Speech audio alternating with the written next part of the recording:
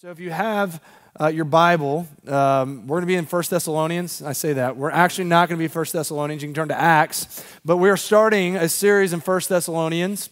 And if you haven't been here while we go through the book of the Bible, we just pick a book and we go line by line through the Word of God because as we read the Word of God, it doesn't come back vain. It actually uh, will shape you into the character of Christ if you receive it.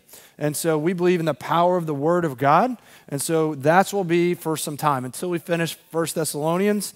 Um, the, the sermon title this morning, if you're keeping notes, is The Persuasion uh, of Christ. The Persuasion of Christ. And so a few uh, just background about the book of First Thessalonians. As you start in any book, you should probably know who the author is, what's going on. So to set the stage of First Thessalonians, Paul is writing to the church in Thessalonica. He planted the, uh, the, the church in Thessalonica on, on, his second missionary journey. The reason why he's writing this letter uh, is because he had to leave very quickly. We'll actually read that in 17 uh, at the beginnings of the church in Thessalonica. And he was writing them to encourage them, to inform them, to strengthen them in the gospel of Jesus Christ uh, because he had to leave prematurely. And it's almost a book that kind of didn't happen because he keeps on writing. Like, I'm trying to get to you, I'm trying to get to you. And he just was never able to get to them. So it's so amazing. He's being encouraged, or this church is being encouraged by the word of Christ, and we get to uh, through, through that. So Paul's writing.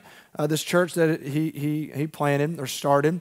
Uh, when it was written, it was around AD 49 to 51. So after Jesus Christ's death, from 49 to 51, during, like I said, that second, uh, second missionary journey, where Th- Thessalonica is the capital city of the uh, of a Roman uh, uh, region called Macedonia. So it's the capital city. It was a big city, 100 to 200,000 uh, people were in this city. It's one of the larger cities. It was located as a port city. So a port city means a lot of access for resources and, and people. And with that, there's a level of prosperity, but also uh, there's also many, um, many gods adopted in that area.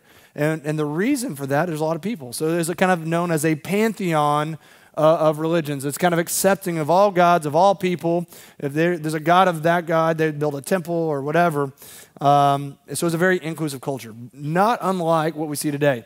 Uh, we have freedom of religion here, which, man, I support. But with that, uh, there's a lot of uh, different ideas about God and how to, to worship um, to worship Him. So that gives you a little bit of background of First Thessalonians and just Thessalonica.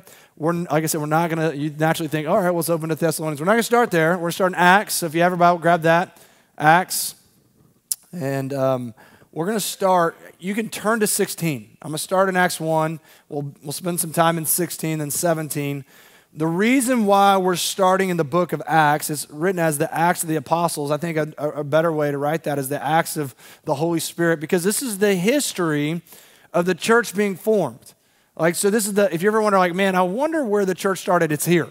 It's, Acts was started here. It's the uh, beginning of the church, it's the beginning of the Thessalonian church, the beginning um, it's what we're caught up in here as the door, the door church. So um, what I'm going to read is Acts 1:8 is what Jesus says. It says, "But you will receive power when the Holy Spirit has come upon you, and you will be my witnesses in Jerusalem, in, in all Judea and Samaria, and to the ends of the earth." So leave that on screen for a second. What happens here? Jesus is talking. He's risen from the grave at this point, and he's telling his apostles, "You're going to receive power." from the Holy Spirit, and the purpose of the Holy Spirit is one, I it brings you into a right relationship with God through Jesus, but secondly, to be a witness to who Jesus Christ and what he has done to Jerusalem, to all Judea, Samaria, and to the ends of the earth. I think a lot of times we look at the Holy Spirit as very mystical.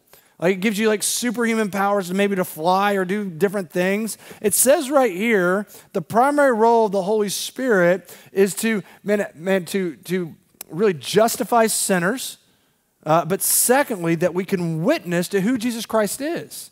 It's the, the building of the church of God is done by the, the Holy Spirit. And we're supposed to be a witness uh, to everyone Jerusalem, Judea, Samaria, to the ends of the earth. How do we do that? By the power of the Holy Spirit.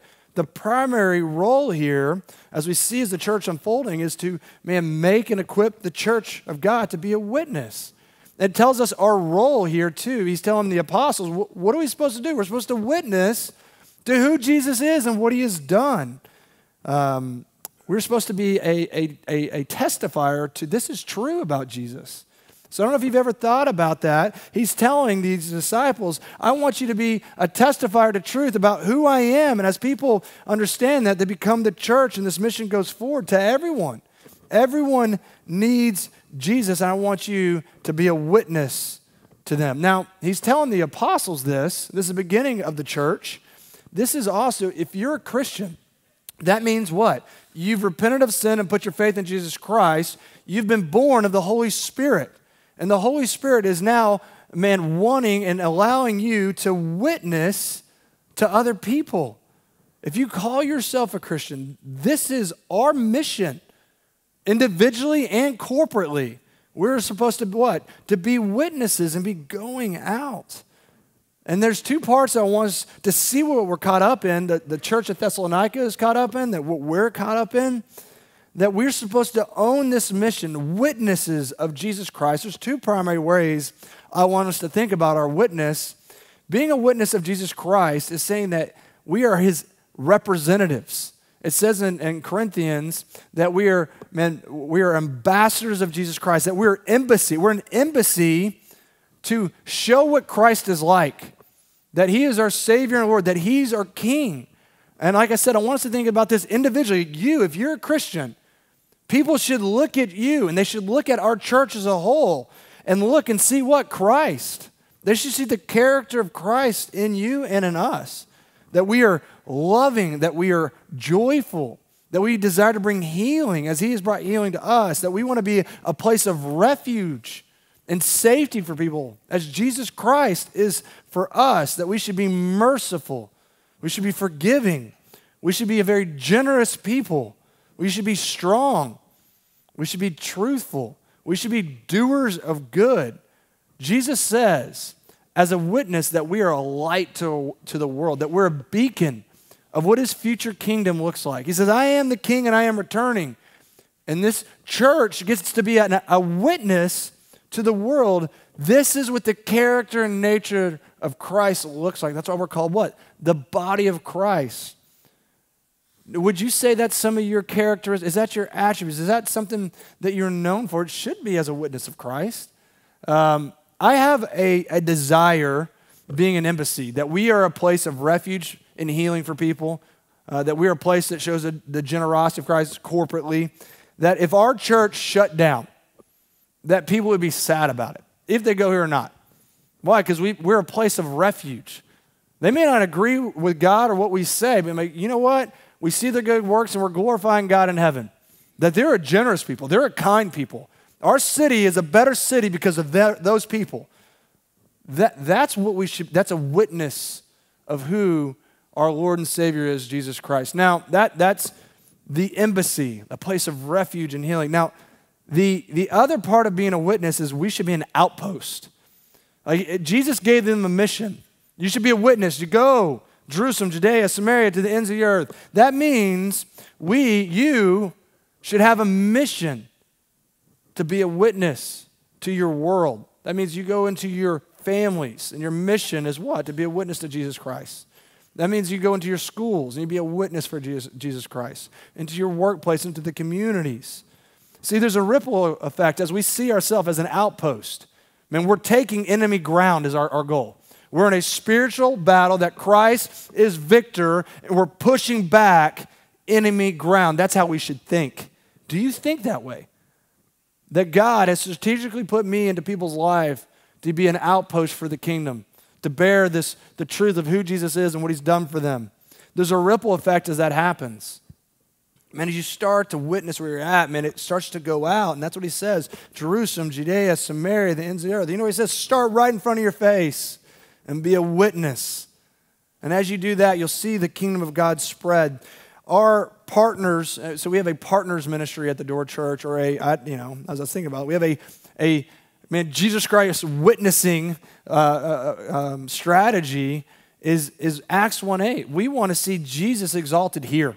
I mean, we want to be a witness in Lewisville and Coppell and Carrollton, Flower. We want to be a witness man, in word and deed to our area, our Jerusalem. We want to see it go out to Samaria and to the ends of the earth. We long for that. We have 17 uh, really witnesses that we're, we're planning with strategically. We send a hundred, we're planning on sending $150,000 out, man, to this this year. And Lord willing, I pray that's millions of dollars as we grow. Why? Because we're passionate about, man, the rule and reign of Christ going to the nations. And what's so amazing as this outpost minister, we have these witnesses from Oklahoma to Southeast Asia to the west coast of the U.S. to the west coast of Africa. What's so amazing, the sun cannot go down on the witnessing of the Door Church and our partners. And I, that's we're just one small element. The knowledge of the glory of the Lord will fill the earth as the water covers the seas. And this is what we're caught up in. That's why we're starting here. Do you understand what's going on? When we gather, we're an embassy, we're a refuge. Then we go out to be an outpost to take enemy ground. This is the disciples' mission. Is that your mission? It certainly is the Door Church mission. If you call this their home, we want you to embody it. We want you to love it. Now, how does that look like? It tells us in Acts 2.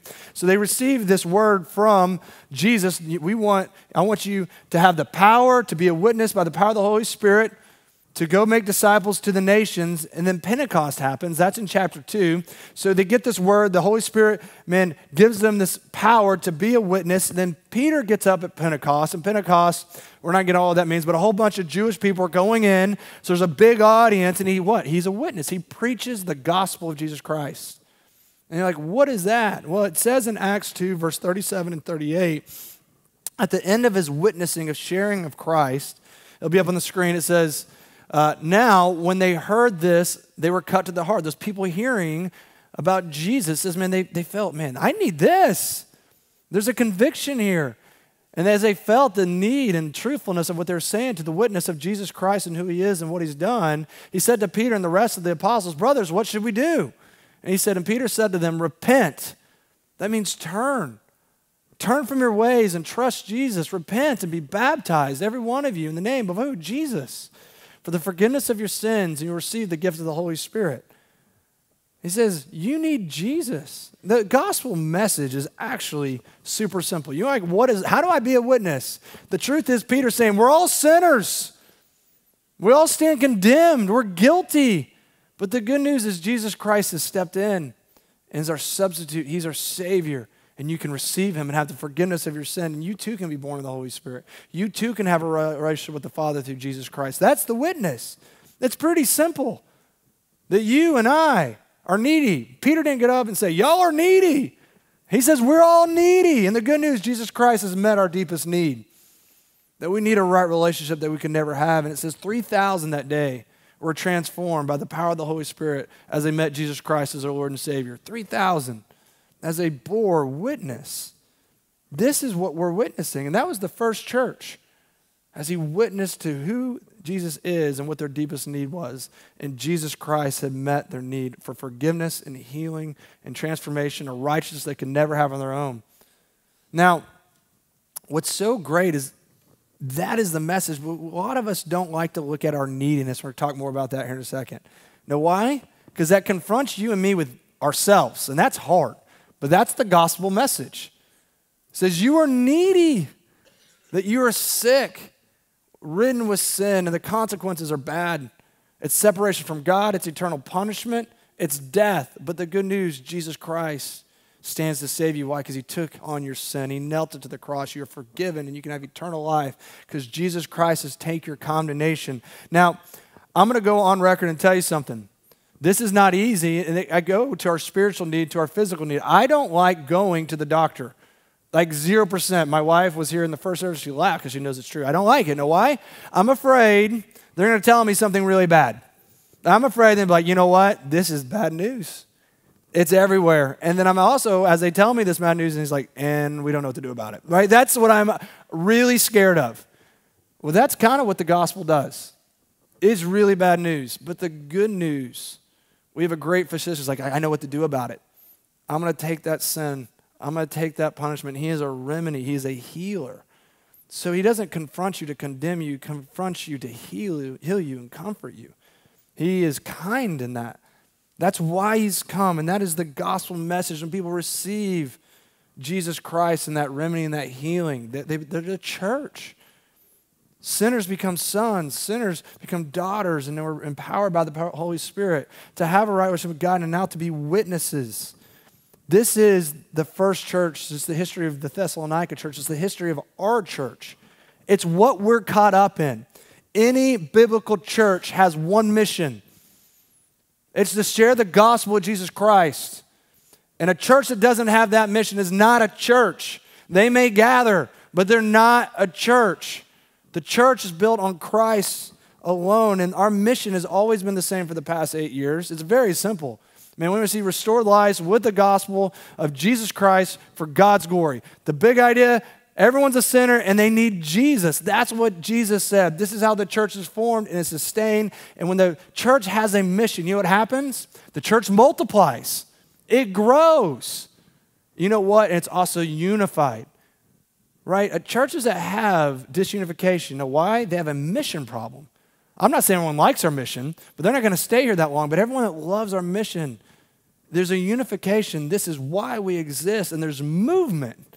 This is what unifies churches the mission of Jesus Christ to go be witnesses to our worlds and to the nations. Now, Acts 16 picks up and on the, the church of Thessalonica being born. So you have this history and the movement of Acts going forward as the apostles and disciples are sharing the gospel as being witnesses. In Acts 16, we come to the Macedonian call. And if you're listening to the, the beginning, Macedonia is the region uh, the Roman region of where Thess- Thessalonica is. It's actually the capital of that area. And I'm going to read 6 through 10. It says, And they went through the region of, of Phrygia and Galatia, and having been forbidden by the Holy Spirit to speak in the word in Asia, and they had come up to Mysia, they attempted to go to uh, Bithynia, but the Spirit of Jesus did not allow them. So passing by Mysia, they went down to Troas. Now listen to verse 9. And a vision appeared to Paul in the night. A man of Macedonia was standing there, urging him, saying, Come over to Macedonia and help us. That's where Thessalonica is. And when Paul had seen the vision, immediately we sought to go into Macedonia, concluding, concluding that God has called us to preach the gospel, to be a witness there.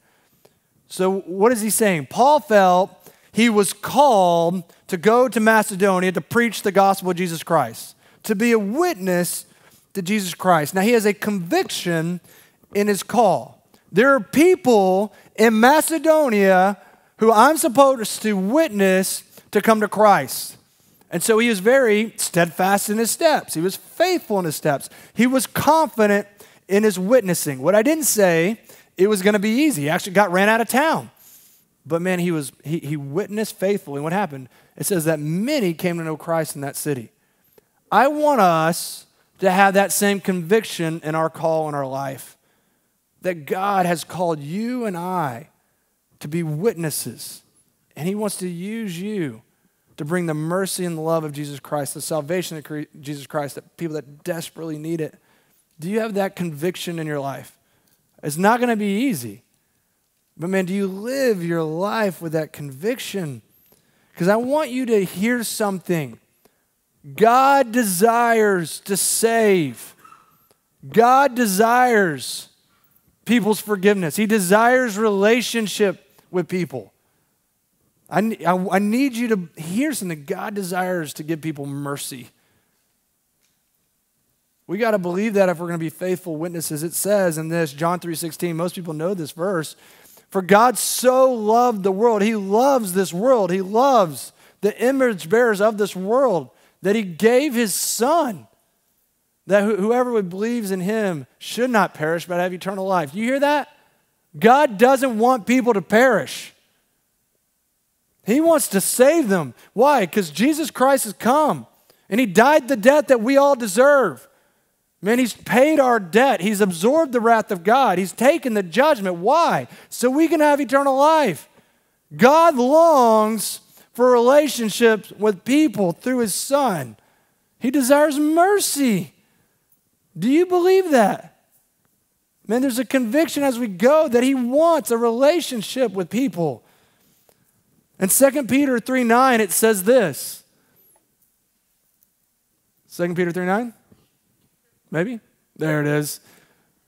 The Lord is not slow to fulfill his promise, as some count slowness but he is patient towards you, not wishing that any should perish, but all should reach repentance. The conviction that God wants people to reach repentance.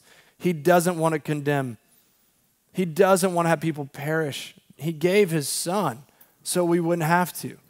See, I think a lot of us, like, oh, you know what? God's up there. He's okay with what we're doing. You know what? He's slow. We think that God is approving of sin. Listen, don't be confused. His patience is not approval. Man, the death of a son is crystal clear. He's not okay with sin, and there will be judgment. But I think a lot of us see his loving kindness and patience as he's okay with it. And he's, he's saying, I long for mercy. I long for people to turn from sin and be saved. I hope someone here is listening at this morning. He's not okay with your sin. Don't think he's not just ignoring it, but he longs for your repentance and salvation. As we as we look at the conviction of call, we know that his that is his heart. Um, the second thing I want us to look at is there's conviction as we see, man, God desires mercy. He says, Go to these people. They need Jesus. It says this in the middle of, uh, at the end of 9. There's a man of Macedonia standing there talking to Paul, urging him, saying, Come over to Macedonia and help us. This Macedonian man saying, Help us. Uh, I think this is very important because he's saying, What? I need help. Now, I'm going to let you know something. I, I, in my natural flesh, I am allergic to that word help. Like, I hate it. Like, in myself, I don't, I don't ever want to admit I need help. Know why? Because that means I'm helpless. That means I can't help myself. That means I'm needy. That means I'm, I'm dependent. When you ask for help, that means I'm not in control. I need someone else's help. Like it's out, out of my ability. Um, asking for help is a uh, not a position of strength. It's a, a, position of weakness, and I don't like to be found in those places. I'm just being honest with you. So as this guy's crying for help, like everything in me is like, I don't like that. Um, when people tell me I can't, I mean, like, well, I, I can, and I will, right? I, I just that's my natural bent. I like to think of myself as physically able. I like to think of myself as mentally stable and strong. Emotionally, I don't, I don't like to think I can be rattled. Spiritually, I like to think I'm, I'm okay. I'm not the best, but I'm, I'm pretty good. That's how I like to think about myself. I'm going to tell you something Jesus didn't come for the well. Who did he come for? The sick. And I'm not saying some are well. See, it's God's grace when he shows you your brokenness what I didn't just say is that God has to break you. You're already broken because of sin. It's when God reveals you your brokenness that what? You say, I need help. For me, that came in college. Man, I, I, I grew up in the church, went, to, you know, Royal Ambassadors, I knew the Bible, you know, but man, I was proud. I didn't think I needed Jesus. I thought I was pretty good. I thought I was better than everyone else. And it wasn't until college, man, that God broke me. Again, He allowed me to see my brokenness that I wouldn't admit. Man, he took, he took my health away. I broke my foot. I took the sport that I loved away. That was my identity. My relationships were failing. Spiritually, I was struggling to quit things that I know I shouldn't be doing. Broken. And all God was saying is, You need help. It was the most gracious thing that God has ever done to me. Because I got on my knees and said, God, I need help. You know he did? Man, he, he gave me mercy, he gave me grace. Have you ever cried for help? That is the most godly prayer that you can pray. You are broken. And what happens as you meet Jesus and you experience the help and provision, the healing that comes in Christ, man, one, there's joy and he changes you. But secondly, there's empathy. See, Paul was a proud man. He thought, you know, he says, I'm, uh, you know, as for Jews, I was a Jew of Jews, right? He just goes on to list how awesome he was. Righteous, I was under the law, perfect. Then on the way, man, God struck him down and, uh, and blinded him, showing him he was not perfect. He was help, and he came to Christ. And he usually breaks proud people and brings great empathy into their heart. Why? So they'd be good witnesses. Right? He, he broke me, and I'm, I'm one of those proud human beings you'll ever meet. Why? Because there's now compassion. If, you, if you experienced the joy and the truth of your salvation recently, you'll have great empathy for people that are hurting and broken and needy and sinners. Why? Because you're just like them. And you'll want them to meet the Savior that has saved you. Now, moving on, he goes down and there's conviction that call, so he's faithful. Go down to Thessalonica in verse seven or chapter 17, verse 1. This is the church is planted. And this is the message that he brought to the people. In verse 1, it says, Now when they had passed through the Amphipolis and the Apollonia, they came to Thessalonica, where there was a synagogue of Jews, remember pantheon of religions. There's Jewish people there. And, and Paul went in, and as his custom, on three Sabbath days, he reasoned with them from scriptures. That's the Bible. So he gets the Bible, starts reasoning with them, explaining and proving that it was necessary for the Christ to suffer and rise from the dead, and saying this, uh, uh, and, and saying, This Jesus whom I proclaim to you is the Christ. And some of them were persuaded and joined Paul and Silas, as it did great many of the devout Greeks and not a few of the leading women. So what he did, he went to the Jewish synagogue, right? And, or, and he was like, This Bible that you're following is all about Jesus. You're not good on your own. You're sinners who need the Savior, and that Savior is Jesus. And it says that many were persuaded. See, I look at this, and this is my heart because I grew up in church, but I was near Christ, but I wasn't in Christ. I was says I was a part of the people of God, but I wasn't one of the people of God. And this is the same thing for people that are Jewish. They have high morals. They are they have the, the promises of the law. They have they thought they were establishing a righteousness of their own. They had high reputation. There's elitism. We are the we are the people. And Paul's saying, no, you need Jesus. And it says many of them came, and I think that's a lot of what I see in our South. It's a Christless Christianity. We're moral people. We're better than them out there. I know the Word of God, but do you know what it says? That you're a sinner who desperately needs to be healed in Christ. See, I mean, that was my idea about Christianity. I was like, I know I'm not perfect, but I'm close.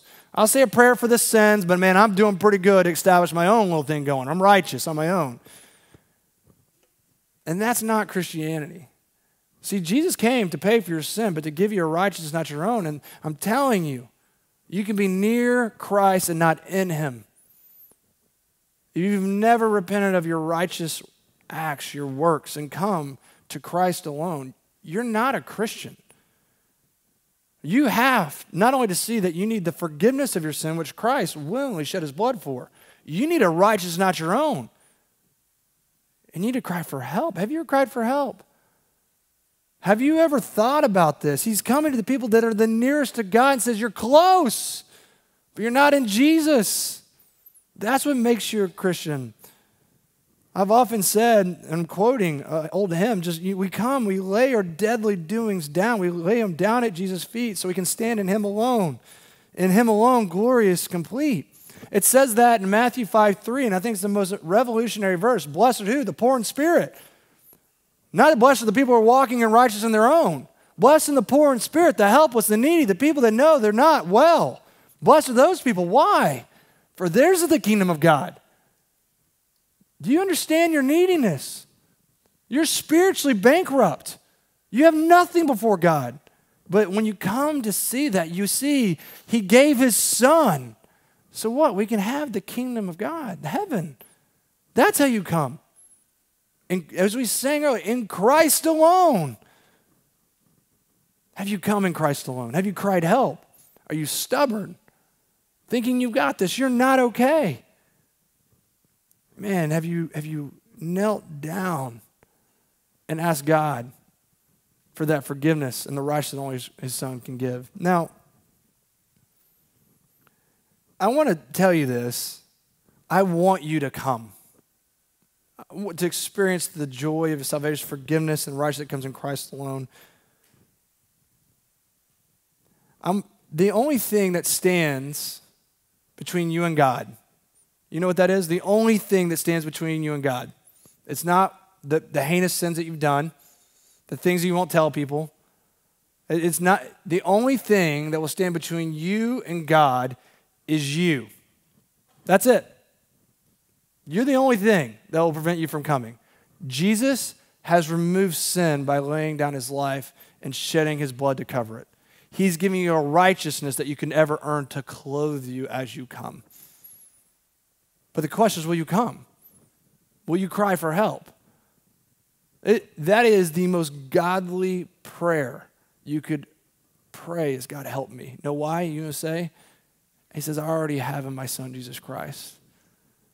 And you will receive the forgiveness and love of the Father that Christ has earned for you. You'll be clothed in his righteousness. You pray help. The prayer has already been answered, and you the Christ will flood your heart and your life. Have you come? Let's pray. God, I pray that you would help us respond by your Spirit, that you quicken our hearts to help us show the truth of Christianity as we reason through Scripture. It's all about our need for Christ and the truth of Christ that He came and He lived and died and rose again so we could be made sons and daughters. I pray that you would humble us and show us our hurts and pains. And we'd cry, Help. And we receive the help that you've given us in your Son. I pray that we'd come come to the end of ourselves and receive the hope that's only in Jesus Christ. As that in Jesus' powerful name. Amen.